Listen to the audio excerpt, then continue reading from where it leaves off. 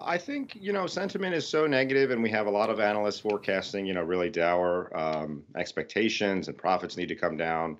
You know, revenue forecasts or earnings forecasts need to be revised downward, and I think we're going to see a lot of surprises to the upside. Frankly, it's not going to take much um, to surprise to the upside.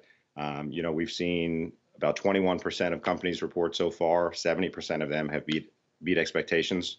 Um, so I think you know we'll see some measure of that continue. Several big name tech companies will report earnings next week. What should investors be looking out for here?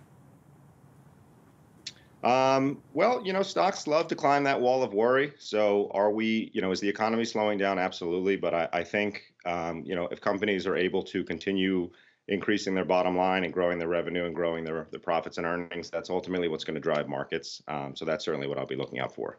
The Fed kicking off its two-day meeting tomorrow. It is expected to raise interest rates by another three quarters of a percentage point. What impact, Aaron, do you expect this will have on markets and, of course, the overall economy? Well, I think any impact is really already priced in. You know, that's kind of the consensus for what the Fed is going to do.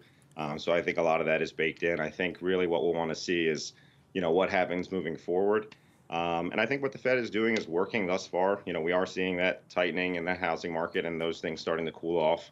We're also seeing commodities prices like oil um, and timber and copper; those things are coming down, which is all helping to bring inflation down to really, you know, help get the Fed to uh, to where it's trying to go. And as the Fed continues to rein in inflation, where do you think prices go from here? Do you believe we are at or close to a peak, or are there signals that prices will continue to increase around us? That's a great question. I, I wish I knew the answer to that. Um, I think that inflation is probably starting to cool um, and will moderate and cool into next year. Um, if you look at like the bond market, for example, um, the break even on 10 year uh, TIPS is signaling about 2.35%. Um, so I, I, do think that we're going to start to see that cool. How long that will take, um, you know, is anybody's guess. What advice are you giving to investors during this time of volatility and, of course, the economic uncertainty that so many of us are facing? Are there any stocks, companies, sectors that you're keeping an eye on?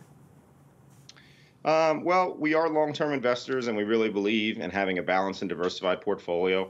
So I think the biggest thing I'm trying to tell my clients is, you know, really that we've been here before.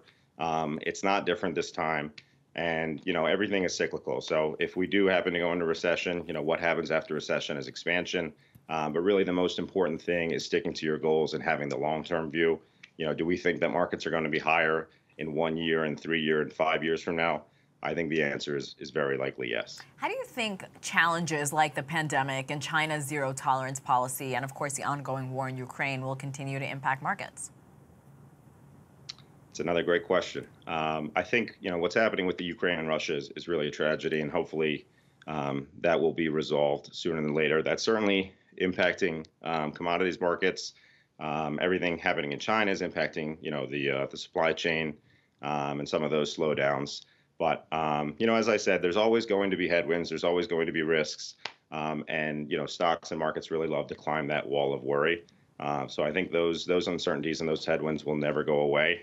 Uh, but we really need to focus on, you know, what's working and what's ultimately going to bring markets higher. What financial advice would you give to younger people with limited investing experience who want to save money and, of course, build wealth over time? Um, well, I would say it's never too early to start, and the earlier that you can start, the better off you'll be. Um, do some reading, speak with an advisor, put a plan together. Uh, but really, the the earlier that you can start saving and really just investing in in the broader broader market, um, is really going to pay dividends for your future and your retirement. What are the unique qualities about today's economy compared to other times preceding economic downturns in our country? You know, I think um, the pandemic has really sort of turned the economy upside down. Um, you talk about all different kinds of indicators. You know, some some economists think that we're mid-cycle, beginning of the cycle, end of the cycle. You know, recession, not recession. So um, I think that the response to the pandemic was was needed, and it's obviously done a lot of good. Um, but you know, we're we're definitely still feeling the uh, the ripple effects and the after effects. Um, so, you know, when that will end, who knows? Um, but I, I definitely am optimistic on the future coming out of this.